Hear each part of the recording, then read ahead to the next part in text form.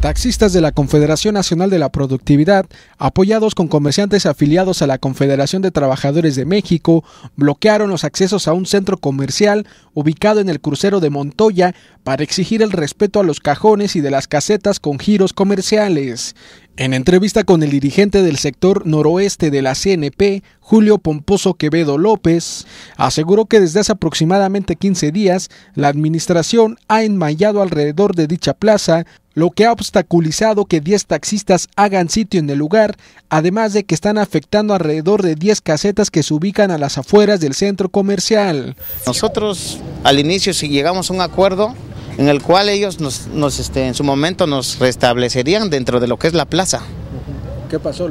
Eh, nos siguen ignorando, ¿no? Yo creo que llega un momento en que también uno se cansa y si no hacemos este tipo de manifestaciones, pues realmente no nos hacen caso. Lo único que piden es el respeto a El respeto al área del trabajo de nosotros. Los inconformes pidieron a la administradora de la plaza que respete el acuerdo que se firmó desde hace aproximadamente cinco años cuando fue inaugurado el centro comercial. De lo contrario, Quevedo López amagó con aumentar sus protestas. ¿Nombre de la administradora?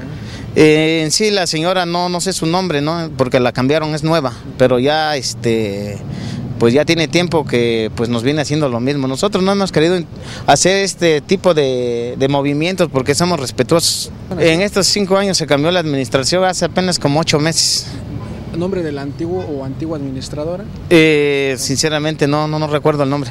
entonces en este periodo solo dos administradores. Así es, así es. Con esos dos ya han tenido ustedes. Sí, ya hemos tenido pláticas. Incluso nosotros hemos apoyado a la plaza en cuestión de cuando se necesita pintura, limpiamos el acceso de los espacios de los, de los, este, de los coches que vienen a hacer compras, compramos cadenas también para la misma plaza.